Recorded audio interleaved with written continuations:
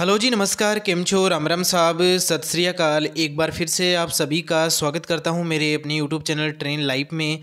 अगर आपने अभी तक हमारे यूट्यूब चैनल ट्रेन लाइव को सब्सक्राइब नहीं किया है तो प्लीज़ आपसे ये रिक्वेस्ट करूँगा कि हमारे यूट्यूब चैनल ट्रेन लाइव को सब्सक्राइब कर लीजिएगा और साथ में बेल आइकन को भी प्रेस कर लीजिएगा, जिससे कि आने वाली हर इन्फॉर्मेटिव वीडियोज़ के बारे में आपको सबसे पहले पता चल सके। तो शुरू करते हैं हमारे आज के इस वीडियो को बिना देर किए। तो बात करते हैं आज की फ़र्स्ट ट्रेन इन्फॉर्मेशन के बारे में। तो अगर आपको वीडियो अच्छा लगे तो प्लीज़ इसे लाइक कर, कीजिएगा और साथ में वीडियो को एंड तक देखिएगा।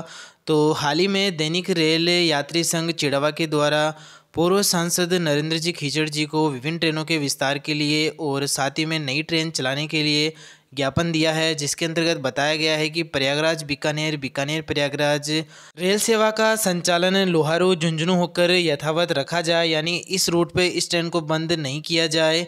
और साथ ही में गाड़ी संख्या उन्नीस छः सौ सात, उन्नीस छः सौ आठ, कोलकाता, मदार मदार, कोलकाता एक्सप्रेस रेल सेवा का विस्तार वाया फुलेरा, रिंगस, सिक्कर, झुंझुनू, लोहारू के रास्ते हिसार तक किया जाए, जो कि मदार जंक्शन पर छियासठ घंटे खड़ी रहती है। साथ ही में गाड़ी संख्या ज़ीरो अड़तालीस से ज़ीरो तीन, ज़ीरो अड़तालीस से ज़ीरो चार।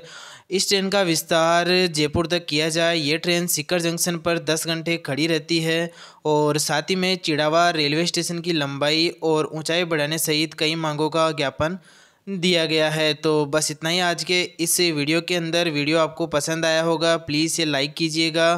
तो मिलते हैं नेक्स्ट एक और वीडियो में। तब तक के लिए थैंक यू सो मच।